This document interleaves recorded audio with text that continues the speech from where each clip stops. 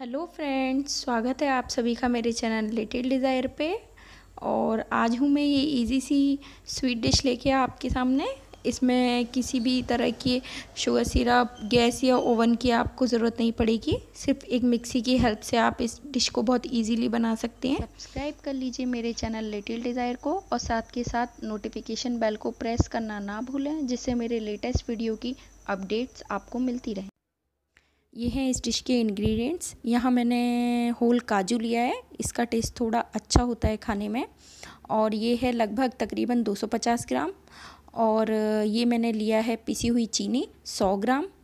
Whole milk है। आपको एक से दो चम्मच ही लगेगा। और ये है मिल्क पाउडर तकरीबन ये भी 100 ग्राम है, क्योंकि इसमें भी थोड़ी सी मिठास होती है। और ये है गुलाब जल। सबसे पहले हम काजू को मिक्सी जार में डाल करके इसको ग्राइंड कर लेना है और इसको ग्राइंड करने का भी एक प्रोसेस है। हल्का सा पाउडर बनाना है इसको। ये जो मिक्सी को बहुत हल्के से, बस एक से दो सेकंड के लिए आपको प्रेस करना है। अदरवाइज़ आप बहुत देर के लिए अगर इसको प्रेस करेंगे तो ये जो काजू में जो अपना मॉइस्चर होता है, जो अपना ऑयल होता है, उसको छोड़ने लग जाएगा। ये पाउडर फॉर्म में नहीं बनेगा। ये देखिए, मैंने इस तरीके से किया है। हल्का सा चलाइए और बंद कर दीजिए तो अच्छे से पाउडर इसका बनेगा। अब मैं इसको एक स्टेनर की हेल्प से छान लूँगी, इसका पाउडर पाउडर, ताकि इसमें कोई गांठ ना पड़े। और ये जो बचा हुआ है, इसको आप फेंके नहीं खीर या हलवे में आप यूज़ कर सकते हैं। एक बार फिर से ग्राइंड कीजिए यूज़ कीजिए, और जो लास्ट में बचता है, उसको आप इस तरीके से यूज़ कर लीजिए। ये देखिए कितना अच्छा पाउडर बन के तैयार हुआ है काजू का। तो यहाँ मैंने एक बाउल में सबसे पहले जो काजू का मैंने जो पाउडर बनाया है, वो लिया है। इसके बाद मैंने इसमें जो पिसी हुई चीनी है, यहाँ मैंने वो भी छान ली थी, पहले से इसको छान करके रखा है, और ये है मिल्क पाउडर, ये भी मैंने इसमें ऐड कर लिया। ये पाउडर फॉर्म में ही मिलता है तो बहुत अच्छा होता है, इसमें कोई भी लम्ब्स नहीं होते या किसी भी तरह की गुठली गांठ। और मैंने यहाँ एक चम्मच लगभग गुलाब जल लिया है, इससे थोड़ा सा खाने में फ्रेगरेंस अच्छी आएगी और हल्का सा अच्छा टेस्ट देता है ये। आप यूज़ करें है आपके पास तो यूज़ करें, अदरवाइज़ स्किप करें इसको। और ये आपको एक से दो चम्मच ही इसमें दूध डालना है। धीरे धीरे करके आप दूध डालिए और मिल, इसको चलाना है। आप एक संग डाल लेंगे तो ये पेस्ट पतला हो सकता है। आपको ये ना इस तरीके से बनाना है। बहुत ज़्यादा पतला हो ना बहुत ज़्यादा गाढ़ा। अब मैंने यहाँ पे ना ये एक शीट ली है। प्लास्टिक शीट है। बहुत सॉफ्ट सी।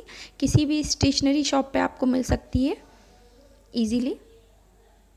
तो ये जो शीट है, इसका ये यूज़ ये है कि ये जो जो पेस्ट हम बनाते हैं, ये हाथ से ना हमारे काफ़ी चिपकता है। इसको हमको ये एक सा करना है। तो ये देखिए, मैं इसको इस, एक स्पून से निकाल भी नहीं पा रही हूँ, दूसरी स्पून की हेल्प से मैंने इसको निकाला है। अब देखिए, इस तरीके से इसमें डाल करके हम जब इसको मिलाएँगे तो देखिए कितना शाइन दे रहा है। देखिए, कितना सॉफ्ट हो गया एकदम से। हम इसको स्पून की हेल्प से मिलाना हमारे लिए थोड़ा सा टिपिकल हो जाता है। जब हम इस शीट में रैप करके इसको जब ऐसे करते हैं, इस तरीके से ही आपको बिल्कुल करना है। ये देखिए कितना शाइनी आपको दिख रहा है। ना अब ये जो पूरा सारे इंग्रेडिएंट्स है, इसने अपना जो मॉइस्चर है वो निकाल दिया। ये देखिए मैंने हाथ पे थोड़ा सा घी लगाया है, ताकि मैं इसका एक पेड़ा सा टाइप का बना सकूँ बड़ा सा रोल ये बिल्कुल डो जैसा लग रहा है ये। बहुत ही स्मूथ चिकना, कोई भी इसमें गांठ नहीं होनी चाहिए। आप ये ध्यान रखिएगा। और मैंने इसको रखा है और हल्के हल्के हाथ से इसको प्रेस करना है। हमको इसकी एक प्लेन सी लेयर बनानी है। ये देखिए, हल्का सा मैंने यहाँ पे बेलन का यूज़ किया है ताकि ये एक इवन प्रेस हो। और ये बहुत इवनली आपको करना है, कहीं से मोटा, कहीं से पतला आप ना छोड़ें इसको।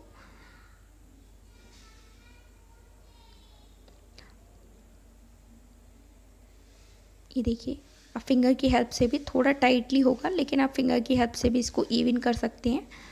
वैसे तो ये इवन मेरा बना था। अगर हो भी जाए तो आप कर सकते हैं थोड़ा सा।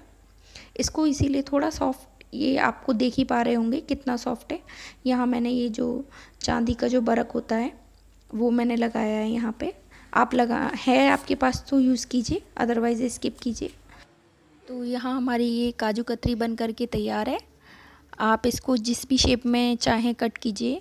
डायमंड अदरवाइज़ स्क्वायर शेप में। यहाँ मैंने इसमें से एक परफेक्ट पीस निकाला है, ये देखिए, इस तरीके का है। अच्छे से भी देखिए आप कितनी स्मूथ है, कितनी चिकनी सी है।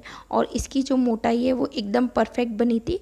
अगर आप बहुत ज़्यादा मोटी रखना चाहते हैं तो आप उसको डो को थोड़ा सा कम इसको प्रेस करें। थोड़ी मोटी लेयर बना सकते हैं। ये देखिए बन करके तैयार है। बहुत जल्दी इजीली बन जाती है। अगर ये वीडियो आपको पसंद आई हो तो वीडियो को लाइक कीजिए, फैमिली फ्रेंड में शेयर कीजिए एंड कमेंट कीजिए। Till then bye bye